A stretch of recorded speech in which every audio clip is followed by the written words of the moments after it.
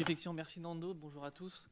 Euh, donc moi je suis pas un professionnel du, cinéma, et, euh, donc je découvre aussi euh, cet univers-là, comme vous allez peut-être découvrir un autre univers du sport que vous avez commencé avec mes collègues, les autres Julien.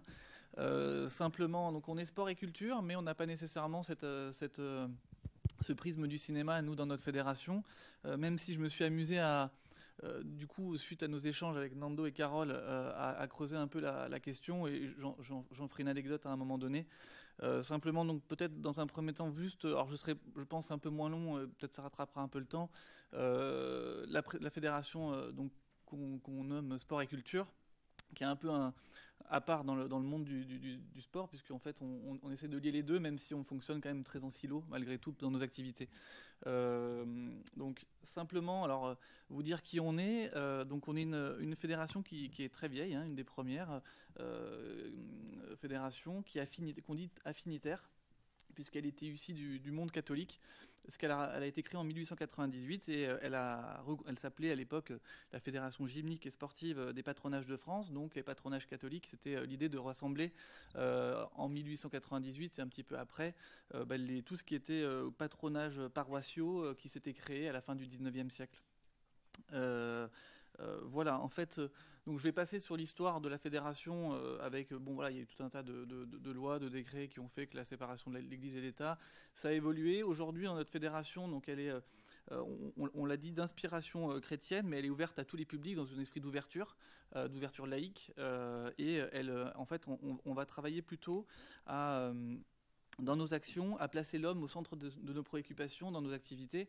Et voilà, donc aujourd'hui, on est on est clairement laïque, on est reconnu, donc on a plusieurs agréments, un agrément jeunesse éducation populaire, puisqu'on est une fédération qui porte l'ambition de, développer la personne, comme j'ai pu le dire euh, juste là, et on a un, agrément sport, bien évidemment, de notre, aspect sportif. Et à côté de ça, on, a, une habilitation nationale à former euh, des, personnes au BAFA BFD, donc euh, peut-être que ça vous parle, c'est tout ce qui est séjour de vacances euh, et accueil de loisirs les mercredis, etc. Donc ça aussi, c'est des choses qui en fait, sont des réminiscences du passé, puisque euh, dès le début, les patronages accueillaient les jeunes euh, et euh, les, les, accompagnaient dans les diverses activités culturelles ou sportives. Voilà sur ça. Euh, pour vous donner un, petit peu un ordre d'idée, euh, j'en reviens à notre projet éducatif qui, finalement euh, se sert de le sport et la culture et les, les activités socioculturelles comme des outils de construction de la personne au sein de l'association, mais aussi au sein de la, de la société. Euh, donc euh, c'est un peu notre mission. On va pas faire euh, des sportifs, en fait, on va accompagner les sportifs vers leur meilleur niveau, mais pas forcément vers l'excellence sportive, même si pour certains ça le deviendra. donc nous, on n'est pas représentatif aux Jeux Olympiques. On a eu des athlètes qui sont passés par chez nous et qui sont ensuite allés dans des fédérations dites délégataires et qui sont devenus champions olympiques ou qui ont gagné des médailles. donc voilà, nous, on, travaille en parallèle davantage sur l'exploitation du sport comme quelque chose de cohésion, de social dans la société, faire en, sorte, et de la culture bien évidemment, euh, vers les publics qu'on qu accueille. Donc aujourd'hui, on a à peu près 120 activités sportives et culturelles euh, et socio-éducatives. On est représenté dans, 70, dans 72 territoires, y compris dans les dom-toms, en Martinique, en Guadeloupe, Saint-Martin et en Polynésie française. Donc c'est aussi peut-être une, une possibilité bah, pour, euh, pour certains d'entre vous de travailler avec des associations qui sont, qui sont chez nous là-bas. On a euh, donc 1280 associations au total. Les chiffres Covid ont fait qu'on a plutôt bien descendu euh, euh, puisque les personnes ont moins pratiqué le sport et, dans les associations et la culture. Donc on est passé de 200 000 à 123 000 euh, à la sortie Covid. Là on est en train de remonter en espérant réatteindre les chiffres qu'on avait auparavant, mais ça sera moins évident. Et on a un certain nombre de bénévoles qu'on qu référence au travers de nos, activités. On a une offre de formation aussi, j'en parle très rapidement, mais qui est liée à la formation professionnelle, au métier de l'animation du sport. Euh, on a des formations fédérales euh, pour euh, animer bénévolement dans nos associations, et puis on a des formations BAFA-BFD plutôt liées à l'animation volontaire et donc au séjour de vacances, accueil de loisirs. Euh, on se base aujourd'hui sur un projet éducatif qui, se veut humaniste, qui est issu, comme je l'ai dit, du, monde catholique, mais c'est les cinq, valeurs, qui nous animent aujourd'hui et qui nous guident notre action, c'est l'ouverture, le respect, l'autonomie, la solidarité, la responsabilité. Donc, au travers de ces actions-là, de ces, mots-clés, en fait, de ces valeurs-là, on, va décliner un projet de développement sur 4 ans sur l'Olympiade, comme Julien a pu l'évoquer, donc sur les 4 ans qui guide, qui, qui, respecte les mandats en fait électifs de nos dirigeants. Alors pour euh, vous parler un petit peu des activités qu'on fait, aujourd'hui à la fédération on a une offre multi-activités, donc on n'est pas euh, segmenté sur une activité, on a une 120 activités comme je vous l'ai expliqué, euh, des activités sportives, artistiques, culturelles, socio-éducatives. L'idée c'est comme je vous l'ai expliqué, c'est de faire en sorte que chaque personne, individu soit accueilli dans l'association de la même manière, qu'il soit à moins bon, bon, peu importe. Nos manifestations sont ouvertes euh, sans distinction euh, euh, de niveau, c'est ouvert à, tous, donc ça nous fait des manifestations qui sont très importantes avec plusieurs milliers de personnes sur des événements qui durent des week-ends entiers, et bah, du coup c'est un peu la force aussi de notre fédération. en termes de pratiques fortes, donc on a bah, tout ce qui est monde aquatique, athlétique, gymnique d'expression, le plein air, la remise en forme, l'entretien. Il faut savoir que la fédération, du fait de son, de son ancienneté, a quand même malgré tout des activités qui ressortent davantage, tout ce qui est euh, gymnique féminine, euh, gymnastique masculine, euh, du fait qu'à l'époque, c'était aussi une façon de préparer les jeunes bah, à, la première guerre et à l'entre-deux-guerres. Enfin voilà, donc c'était plutôt une préparation militaire également. Donc on a aussi des sports collectifs, sports de combat sport de précision, sport de raquette. Donc on a, un on a un éventail de public qui va pratiquer des activités totalement diverses au sein de nos associations. Donc on a à peu près 2190 associations qui, euh, qui accueillent ce type de pratique-là dans dans partout en France hein, et qui représentent 85% de nos licenciés. Sur les activités artistiques et culturelles, de la même manière, on va avoir des, sections d'associations qui vont se, créer et qui vont, euh, bah, développer des, activités pour nos jeunes et moins jeunes. Euh, nous, au niveau national, on les regroupe au sein de, commissions d'activités. Alors, on en a trois en particulier les commissions d'activité musique, danse, et puis une coordination qui rassemble les pratiques artistiques et culturelles. Alors on n'a pas forcément de cinéma, même si euh, ça peut arriver, puisqu'on a des, établissements qui disposent de leur propre salle de cinéma au sein de leurs locaux, euh, et qui développent en fait des manifestations, des rencontres pour tous les publics, et des formations également, des, stages de perfectionnement, tout un tas d'éléments. Donc là on est quand même beaucoup plus petit, vous le voyez hein, sur la représentation de notre fédération on est sur 270 associations, euh, sections d'associations et à peu près 6% de nos licenciés. Sur euh, les activités socio-éducatives, bah là c'est pareil, on va avoir euh, notre projet qui nous anime en fait, c'est de la non-spécialisation, comme vous l'avez pu le comprendre. En fait, on ne cherche pas à, développer un sportif sur une discipline, mais à l'éveiller de, de, tout ordre pour en faire un individu sain dans un corps sain en quelque sorte. donc dès le premier pas, l'éveil de l'enfant, ça part de de 6 mois à 6 ans, en fait, on va mêler des activités d'éveil au premier pas avec de, la culture, euh, différentes formes euh, de, pratiques sportives, des jeux d'adresse, d'équilibre, des choses comme ça. Euh, donc on, s'écarte un peu de tout ce qui est baby gym, baby, etc. Hein. voilà, donc après on a tout un tas d'activités qui viennent au périscolaire et puis à l'extrascolaire avec les, séjours de vacances, loisirs, on forme les BAFA BFD comme je vous l'évoquais. On a du coup un certain nombre de de sections d'associations euh, et un pourcentage de licenciés qui, euh, qui est lié. Et puis, bon, bah, voilà, pour vous brosser un petit tableau un, peu plus large sur les compétitions, les rencontres, les manifestations qu'on organise. Au niveau national, on est à peu près à 36, mais il faut imaginer que sur notre territoire, on a des comités régionaux, des comités départementaux qui vont, eux aussi, euh, développer bah, des rencontres, des manifestations et donc brasser du public. donc nous, juste sur le national, en fait, on brasse à peu près 15 700 participants chaque année qui représente 1400 sections. Et puis on a bah, tout ce qui va entourer ces, manifestations, euh, euh, avec euh, bah, tout ce qui est juge, juré, arbitre, voilà, qui, fixe les règles du sport. Donc en fait, juste aussi un petit mot pour les formations. on a des formations professionnelles, comme je vous l'ai expliqué, des formations BAFA, BFD et des formations fédérales. Euh, voilà, je ne m'étends pas là-dessus parce que ce n'est pas forcément euh, ce qui va nous concerner aujourd'hui, et pour vous. On a des actions plus transversales à la fédération, donc qui vont euh, être vraiment impactées sur la jeunesse, sur la prise d'engagement associatif, sur le service civique, sur des questions de santé.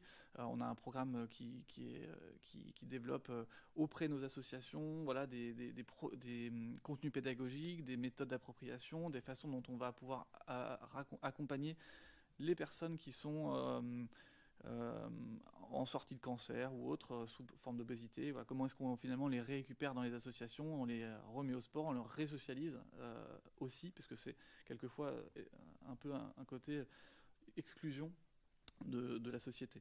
On a une démarche développement durable, une histoire et patrimoine du fait de notre ancienneté et du fait que notre fédération a quand même structuré pendant un, bon moment euh, euh, le monde sportif euh, en France. des éléments d'ailleurs qu'on a pu transmettre à l'époque, je crois, à, l'INSEP, à Cinématographie, effectivement, là-bas, avec des films qu'on avait, des, photos, beaucoup de. On a un musée virtuel qui permet de retracer aussi un peu notre histoire. Voilà, donc en fait, qu'est-ce qui m'a amené euh, dans ce. Dans, c'est plutôt là qui ça vous concerne, c'est comment, comment j'en suis arrivé là. Euh, enfin, la fédération en est, en arrivée là. Comme l'a dit Julien, l'Olympiade culturelle est là. Euh, pour nous, sport et culture, c'était un peu dommage de passer à côté.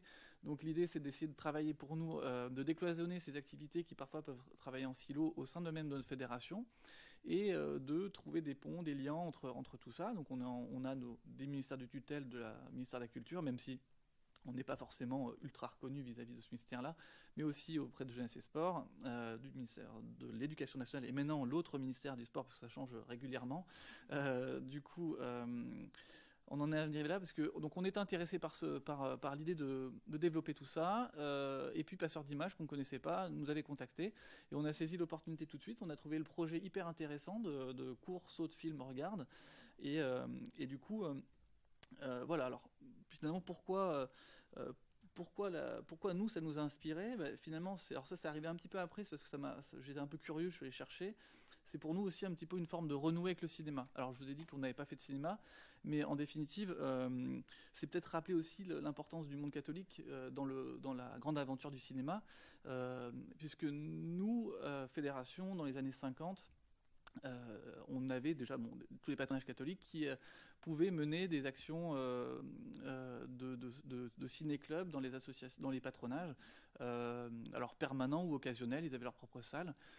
Et la fédération avait choisi finalement de ne pas forcément développer cette pratique-là, mais plutôt de la dédier à, enfin, de la laisser à une fédération catholique qui s'appelait la Fédération de loisirs et de culture cinématographique, la FLEC, qui avait été créée en 1946 et qui, du coup, elle développait en fait les euh, mener des actions de formation auprès des animateurs pour l'histoire du cinéma, pour euh, pour former euh, ben, à des techniques d'animation dans le débat après la projection, ou alors même proposer des, corpus de films à, fournir aux associations, au patronage.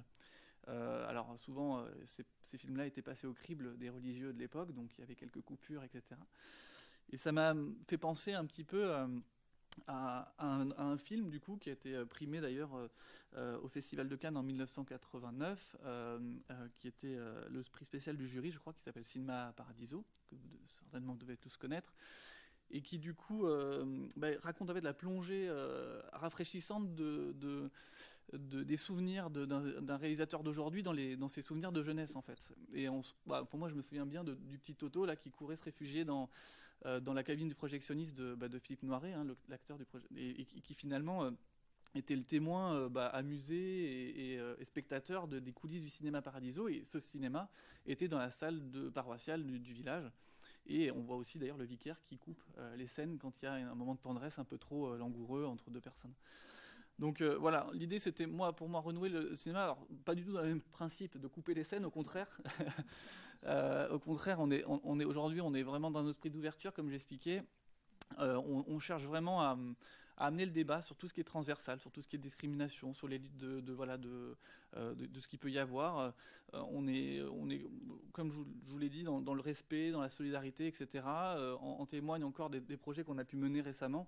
Donc il faut vraiment se, se dire que notre affinité catholique d'origine n'empêchera pas n'importe quel type de film, puisque encore alors euh, récemment, comme je vous disais, là, il y a 4 ans, on avait travaillé, euh, euh, on a fait un partenariat avec les mondiaux de la diversité, qu'on appelle aussi les Gay Games, et, qui, donc, avec lesquels on a travaillé justement sur la lutte des discriminations, et on a bah, proposé tout un tas d'événements, notamment d'engagement des jeunes pour les sensibiliser à, ces thématiques, à, la, lutte contre l'exclusion des, publics plutôt LGBT, mais pas que, il y avait aussi tout ce qui est racisme, antisémitisme, etc. Donc on, on s'était vraiment servi de, de cet événement-là. Donc c'était pour vraiment vous rassurer si jamais quelquefois on peut, on peut imaginer, voilà. Donc, euh, euh, mais je sais parce qu'on en a échangé avec Nando au téléphone parce qu'il avait un peu craint à un moment donné, donc euh, je préfère le dire. voilà sur ça. Donc l'enjeu des JOP, bah, pour nous, c'est le lien sport et culture, comme je vous l'évoquais. développer la pratique du sport, parce que malgré tout, c'est aussi notre perspective pour les Jeux olympiques 2024 et euh, participer à l'Olympiade culturelle. Donc c'est un, premier pas là-dedans qu'on met, euh, qu'on met euh, avec, avec Passeur d'Images. Donc nous, l'idée, c'est vraiment de pouvoir... comment est-ce qu'on va vous aider? Alors, c'est comment vous mettre à disposition notre réseau associatif au sein de tous les territoires. On est représenté partout, en dom-tom, je l'évoquais tout à l'heure.